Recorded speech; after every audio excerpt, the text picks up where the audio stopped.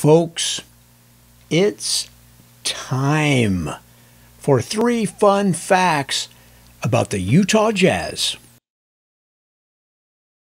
Folks, the Utah Jazz were founded in 1974 in New Orleans as the New Orleans Jazz.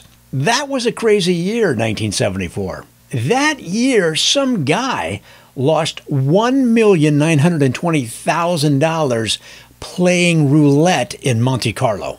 It reminds me of a story my dad told me once. He said, Joe, I am ashamed to admit it, but I once lost my entire paycheck playing Baccarat in Vegas on a three day binge.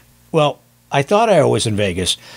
I didn't find out till it was over that I was actually in Barstow playing gin rummy with some retired nuns. The Jazz moved to Salt Lake City in 1979. Now, was it because of that town's long history in jazz music? One resident explained it to me this way Well, we have a form of jazz we call country music, but Utah country was a phrase that was already taken up by the Saturday Morning Agricultural Report on the radio. The Jazz are a study in persisting until breaking through to a whole new level of performance.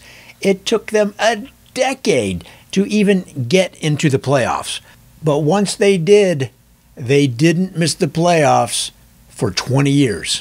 One Utah Jazz fan told me, I can relate. I asked Mary, not going with you, to the prom 287 times before she said yes. But by that time, we were both 27 years old, so we just got married.